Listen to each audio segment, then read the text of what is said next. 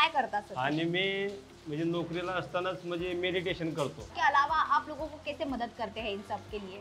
वो तो ब- फ़ोन के ऊपर सतत हमेशा चालू रहता है और हमारा नंबर तो सब मतलब पूरे महाराष्ट्र में नंबर हमारा गया गया हुआ है। गुरु जी आप मुझे बताइए कि आप कैसे समझाते हैं लोगों को कैसे सिखाते हैं लोगों को इसके बारे में?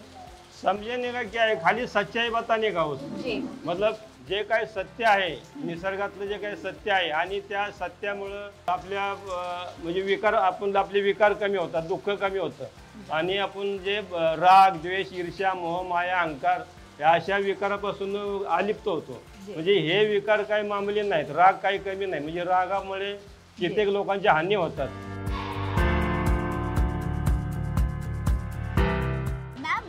सालों से आप कर रही है ये बिज़नेस करीबन नौ साल हो गए। नौ साल नौ साल से लगातार कर रही है। कैसा रिस्पॉन्स है लोगों का इसमें पहले तो इतना लोगों को मालूम नहीं था ना टेस्ट का मालूम नहीं था। ऐसे आके देख के चला जाते थे।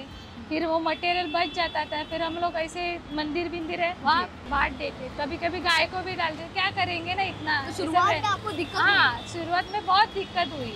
तो मैम आपको क्या लगता है कि अगर मुझे लगता है कि कोई बिज़नेस शुरू करना चाहिए तो मुझमें कौन सी वो स्किल्स जो है वो चाहिए?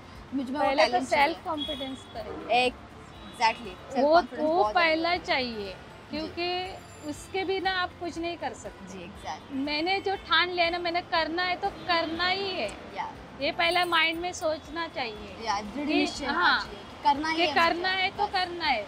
डरने का नहीं शर्माने का नहीं। जी। ये तो ऐसा है कि हाँ चार पाँच जन बोलने वाले भी रहते हैं और अच्छा बोलने वाले भी रहते हैं। आप कुछ भी करो लोग तो वैसे बुरा और अच्छा बोलने ही वाले हैं तो है। उसे ध्यान में ना रखते हुए आपको जो है वो फोकस रहना है। हाँ। आपको कोई चीज़ करनी है तो आपको वो करनी ही है।